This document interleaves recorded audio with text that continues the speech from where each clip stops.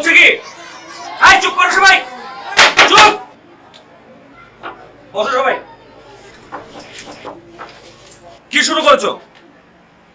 হ্যাঁ? আই সবাই শোনো।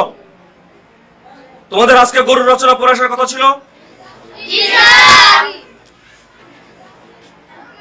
সবাই কি পড়ে আসছো? এই এই বসো। এই! কি করতেছিলাম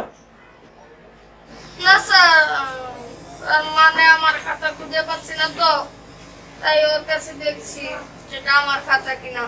এই তুমি খাতা নিয়েছো? স্যার ও না মিথ্যা কথা বলছে। আসলে সেই খাতাই আনেনি। আচ্ছা আমি বুঝতে পেরেছি বসো তুমি। বল্টু তুমি আমার সাথে বাদরামি করো। আজকে তোমাকে আমি বুঝাবো কত ধানে কত চাল। একটা শর্তে তোমাকে আমি মাফ করতে পারি। তুমি যদি সবার সামনে গরুর রচনাটা গড় গড় করে বলে দিতে পারো তাহলে তোমার সব শাস্তি মাপ বলো। গরু একটি গৃহপালিত পশু, কিন্তু এরা গৃহপালিত পশু হলেও গৃহে এদের পাওয়া যায় না।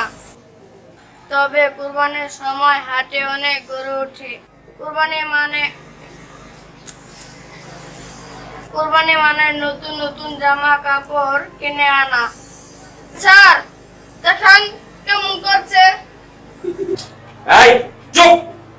তা আব্বুকে বলছি যে আমার জন্য চারটা কাপড় না কিনে দিলে আমি করব না। আর আম্মু বলেছে ঈদে ডিপ ফ্রিজ না কিনে আনলে নানুর বাসায় চলে যাবে। তাই আমার ইচ্ছে পূরণ হলো না। আর ঈদের সময় গরুর গোস্ত খাব আর স্যারকে দাওয়াত দেবো।